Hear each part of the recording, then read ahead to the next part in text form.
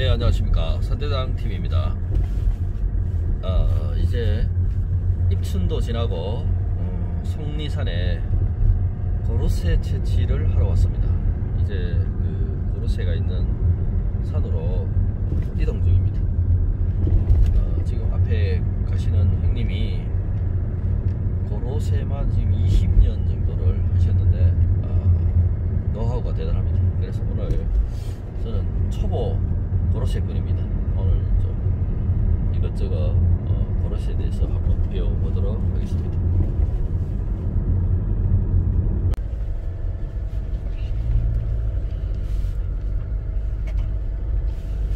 지금 산길을 한, 한 6, 700까지까지 현재 지금 올랐는데 어, 고로쇠 수액 채취를 하려면 한 8, 900고지까지 어, 올라가야 된다고 합니다.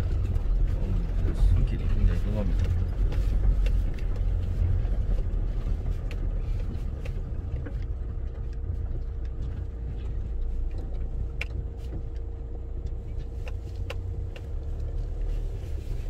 자, 여기가 고로쇠 어, 채취를 해서 음, 집결하는 장소입니다. 이통 그거 아니라 다 이어. 아, 그렇죠. 이게 한 몇 리터 됩니까? 이 통이? 이게 저 50만, 50말. 50만, 20리터짜리가 50, 일로 까똑까지 50통 정도 음, 보인다고 이게. 이렇게 엄- 엄청난 양이 나오네, 그죠? 하늘선까지 한 거리가 한, 한 3km. 3kg. 여기서, 어, 3kg 정도, 어, 올라가면, 어, 이게 이제 고로쇠 나무가, 아, 분포를 한다고 합니다. 그래서 여기가, 바로 앞에 보이는 곳이, 어, 요 산을 넘어가면 우복동천입니다. 어, 십성지 중에 한 곳이죠. 아주 좋은 속리산 자락에서, 어, 오늘 고로쇠 채취하는 어, 장면 그리고 고로쇠가 어떤 나무에서 나오는지 또 어떻게 그 채취하는지를 어, 보여드리겠습니다. 바로 옆이야 이거. 이게 다 왔어야 돼. 아이고 산이 굉장히 가파릅니다.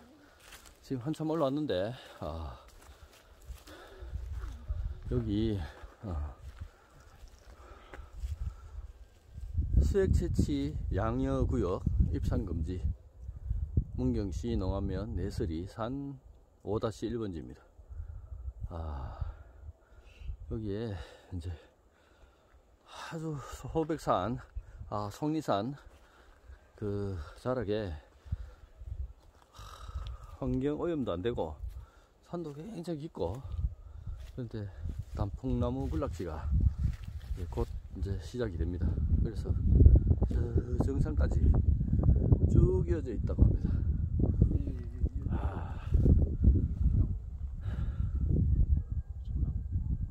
네, 오늘은 어, 고로쇠 채취하는 장면 그리고 이제 어떻게 채취하는지 대해서 한번 알아보도록 하겠습니다. 자, 봄이 오면 오늘이 입춘이 지나고 지금 며칠 지났는데 어, 이제 이제 시작입니다.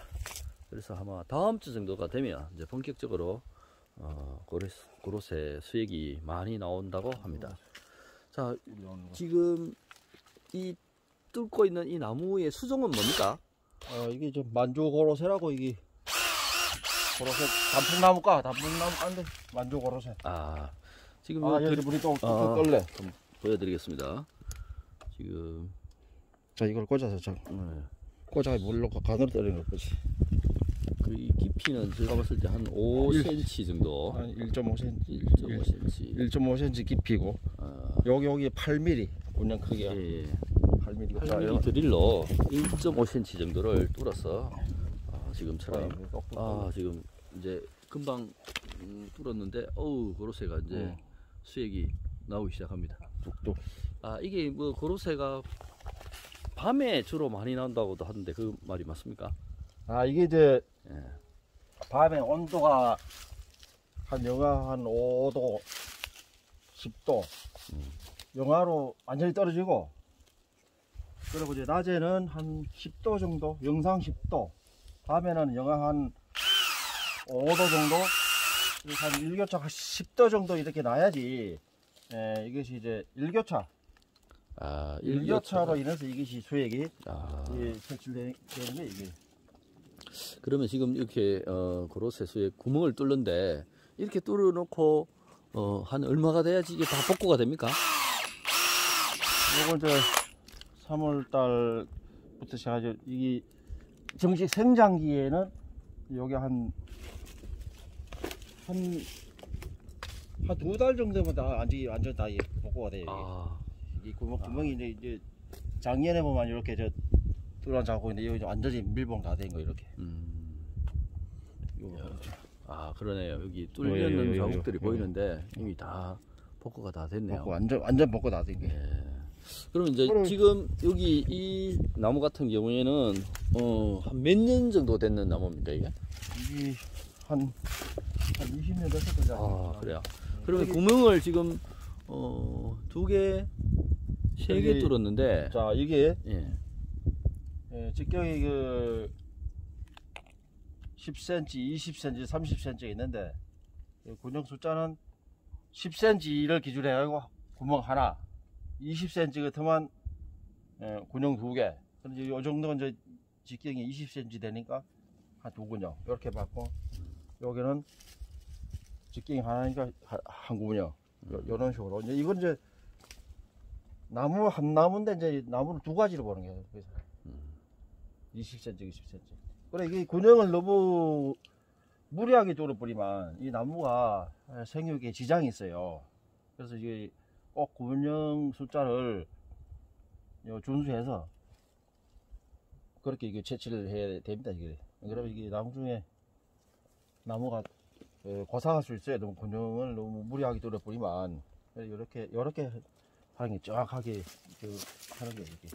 네. 현장에서 지침이 보면 이렇게 그 지침이 이렇게 나와 있어요. 그 더 이상 뚫으면 안 된다. 이렇기 때문에 꼭 요거를 규정을 준수해서 그렇게 그 채취를 어, 해야 됩니다. 이게 안 그러면 나무가 이게 지장이 있고 하기 때문에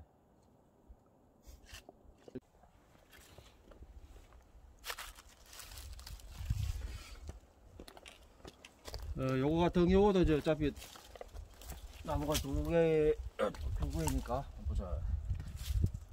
이렇게 하고.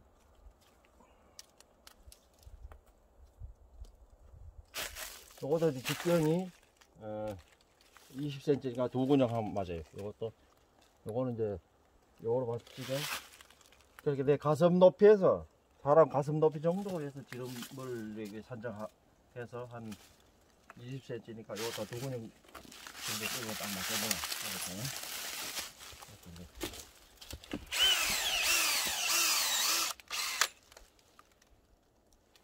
아 이것도 이제 물이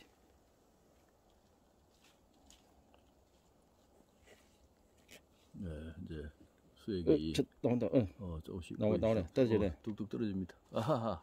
네. 참 신기합니다. 네. 그래도 꼭. 자 이제 요 위에 좀더 하나 더 뚫고 지금 어, 이장님이 지금 그 고로쇠 지금 수액을 채취하는 곳에서 하루에 가장 절정기에는 한 얼마만큼의 양이 나옵니까? 하루 절정기에는 이렇게 하면 한 제가 이 채취 구역이 한 면적이 한 2헥타라 2만 평 2만 평 정도 되는데 어, 나무 숫자는 한, 한 500그루 정도 돼요 500그루. 음. 이제 하루에 이제 절정이 때면 20리터 말통을 기준에 가지고 그걸로 한 50말 정도 나옵니다 음, 그만 20리터 50개를 하면 50 거의 한 1톤 정도 이상 나온다는 네, 1톤 얘기예요. 되지, 예. 아, 하루에. 하루에 1톤 정도 아, 이거 판로는 어떻, 어떻습니까? 지금 뭐 그릇에 이제 보통 드시는 분들도 있고 안 드시는 분들도 있는데 지금 팔로가 좋은 편입니까? 아니면 팔로가 어렵습니까? 팔로는 뭐 지금 제가 이거 한 지가 한 2000년부터 한 지금 보자 2021년인가 한 21년 됐네요. 21년 저는 개인 그 고객들이 이제 많이 확보돼서 어, 그렇게 이제 팔로에는 이제 시장이 없는 그런 상태입니다. 아, 예, 그래서 계속 그렇게 고정 고객이 있어가지고 그렇게 고로쇠가 그 산지에 따라서 맛이 많이 틀리다고 하는데 오늘 어 이따가 성리산 문장대 고로쇠 오늘 맛을 한번 보도록 하겠습니다. 여기 맛은 제가 평가합니다. 그리고 여기가 저 해발로 따지면 높이가 한 800거지 정도 돼, 이 위치가. 원래 이게 좀 고- 지대가 높고, 뭐 이런, 이런 지역에는 더 고로쇠가, 어, 더 당도가 좀 더 좋고 그래요. 낮은 데보다는. 좀 어떤 밤낮의 온도 차이가 이렇게 심하고 이래, 이- 이런 데는 해발이 높이가 높기 때문에, 이제 그걸 그럴 이제 가능성이 많죠 여기가. 무조건 해발 고지가 높아야 돼. 높고 그래야지 일교차가 심하고 밤에는 뭐 영하 5도 이상, 낮에는 한 영상 10도. 이렇게 일교차가 심하면은 보로새가 더 많이 나오고 이제 당도가 보면은 그 일교차가 심해야지 당도도 더 많고 그래요 이게. 보로새 당도를 일부만 결정해 주는 게 이것도 나무 이거를 사람들은 욕심 때문에 이게 너무 많이 군- 군용을 아까 뚫고 뿌리면 나무가 좀 이래 부실해요. 그렇게 되면 나무가 이제 이게 저, 저 생육이 안 좋고 하다 보면 수액도 맛도 좀 덜하고 그래서 이 나무를 항상 이렇게 예, 시- 저, 생육 상태를 좋게 하기 위해서 그래서 군용 숫자를 절대가 많이 들으면 안 돼요. 그러면 이, 이 당도도 좋고 나무도 나무대로 저그 성장이 지장이 없고 음, 그렇게 해야 됩니다. 절대로 이저 욕심을 부리고 그렇게 뿌리면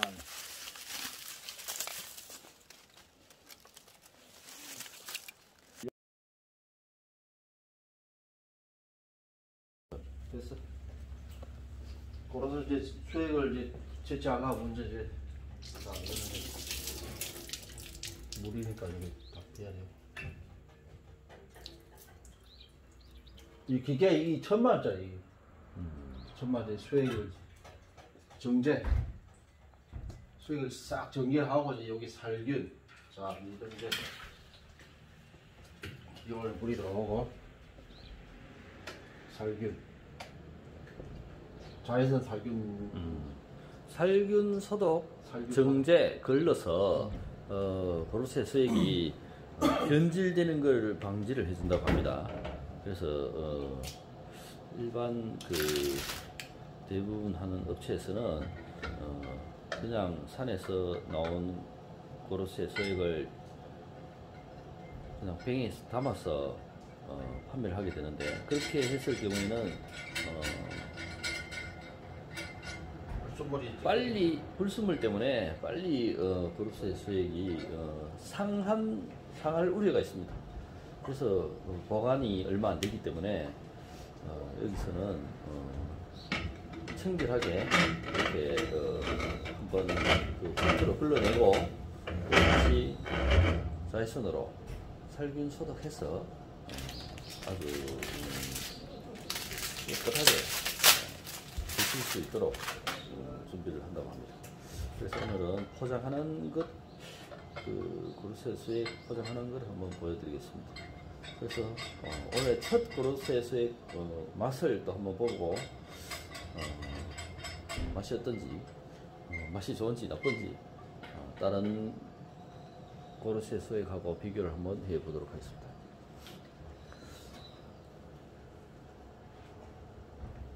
어, 이 기계 어, 가격이 천만 원대 정도 하나고 일반 농가에서는 쉽게 구입을 어, 못 한다고 합니다. 대량으로 하는 것에 어, 깔끔하게 어, 위생적인 어, 그런 고래새 수액 포장 과정을 보여드리겠습니다. 요래서 이제 수액을 이건 어제 어제 말하는 이 고로쇠입니다. 그래서 이거를 이 통에다가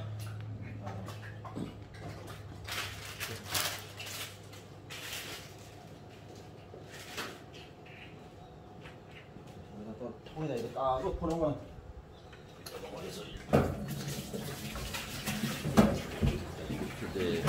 말통 작업을 해서 이제 이렇게 여기에다가 한번 필터링을 해서 필수물 제거하고 다시 자외선 어, 살균을 한다고 합니다.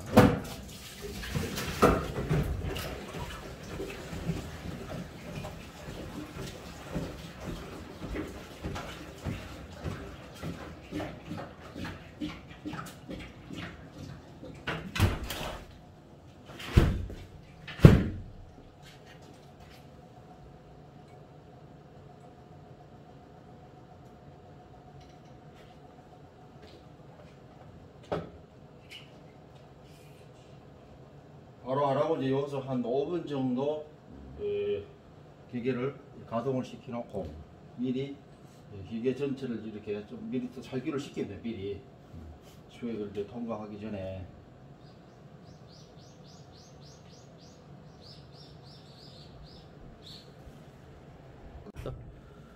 자 오늘 첫 고르쇠 작업해서 어, 시음을 해보도록 하겠습니다. 자, 제주도 예.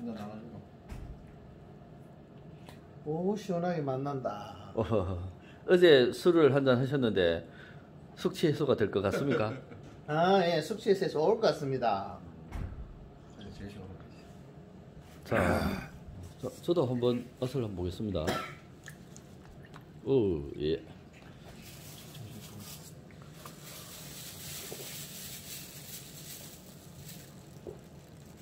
오, 근데 아직 당도가 좀 좋은데요?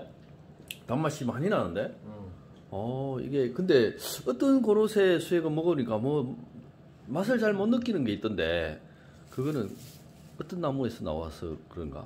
이게, 어, 상당히 당도가 지금 있는데요. 아직까지 이제 정상적으로 많이 나올 철은 아닌데도 불구하고 당도가 굉장히 좋습니다. 어, 원래 저 천물은 이제 저 당도가 아, 원래 지, 나무에 머무는 시간에 또 이래 오래되고 이래 돼야지 저 아, 지금 그러면 아직 당도가 지금 안 올라왔는데 이 정도 단 겁니까? 어, 근데 다른데 먹었는가 보다는 훨씬 단데요? 정상적인 이제 그 저기 밤에는 무조건 한 영하 5도 이상 최하 영하 5도 내려가고 낮에는 한 10도 정도. 아 이거 오늘 날씨 참 좋네 다들. 어, 근데 한 잔더 주십시오. 와, 이- 이거 이런- 뭐 이런 많이 먹고 가야 경우에- 되겠는데? 이게 당도가 좋지.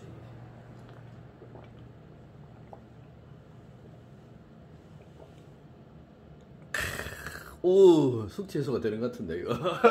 아, 아주 좋습니다.